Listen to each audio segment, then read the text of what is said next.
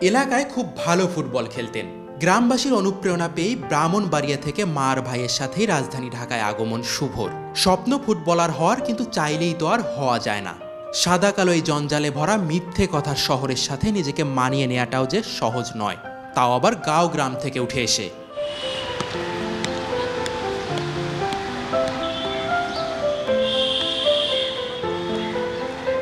দুই হাজার উনিশ সালে ঢাকায় আসার পর থেকে অনেকে শরণাপন্ন হয়েছেন। অনেক ক্লাবে ক্লাবে ঘুরেছেন একটা সুযোগের জন্য। সুযোগ তো সোনার হরিণ, চাইলেই ধরা দেয় না। আঙুলের সাহায্যে ফুটবলটাকে দীর্ঘ সময় ধরে ঘোরাতে পারেন শুভ। কিন্তু নিজের ভাগ্যের চাকা কই আর ঘোরাতে পারছেন? তার জন্য তো দরকার কারও না কারও সাহায্য। Sports is the way of life.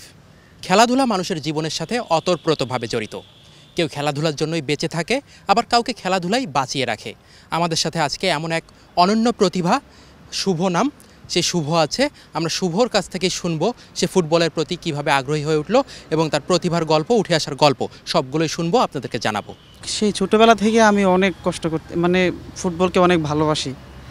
তো এই যখন আমার মা অসুস্থ হয়েছে, তখনই আমার মধ্যে একটা অনুপ্রেরণা আসে না, আমাকে কিছু একটা করতেই হবে। আমার নেইমারের খেলা অনেক ভালো লাগে, আমি নেইমারকে ফলো করি।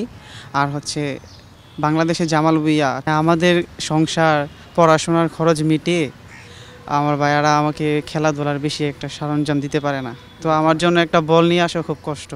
এই বলটা হচ্ছে ফিজিক্যাল কলেজের এক টিচার আমাকে আমার খেলা দেখে গিফট করছে।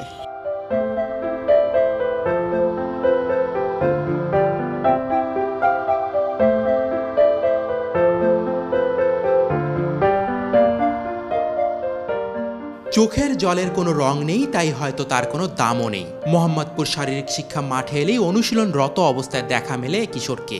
অন্যের দেয়া ফুটবল দিয়ে আর কতদিন অনুশীলন চালানো যায়?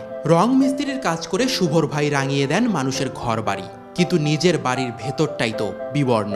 অসুস্থ মায়ের চিকিৎসা করাবেন নাকি ছোট ভাইয়ের স্বপ্ন পূরণে তাকে একজোড়া বুট কিনে দিবেন?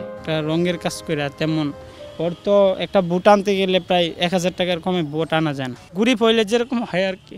ওই যদি বড় লোকের ঘরে হইতো, আশা করি ওই বাংলাদেশের সেরা খেলোয়াড়ও হইতো। এটা আমি নিশ্চিত, কারণ ওই পায়ের ওর পায়ে এরকম একটা কনফিডেন্স আছে অনেক ভালো খেলে। সাধারণ কাজগুলো শক্তি নয়, অসীম ধৈর্য দিয়েই সম্পূর্ণ করতে হয়। শুভর জন্য শুভ সংবাদ এটাই যে, অনূর্ধ্ব আঠারো এর প্রাথমিক ট্রায়ালে সিলেক্ট হয়েছেন এই কিশোর। চূড়ান্ত সিলেকশনের জন্য অপেক্ষা করতে হবে এপ্রিল পর্যন্ত। কিন্তু তার আগে যে এক জোড়া বুট চাই। প্রতিযোগিতার বাজারে সাধারণ জুতো পরে অন্য ফুটবলারদের টেক্কা দেয়া তো বেশ কঠিন।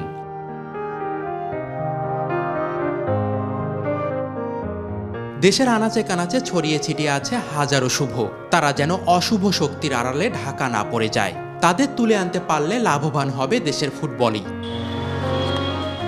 অনিক জাবের, অলরাউন্ডার।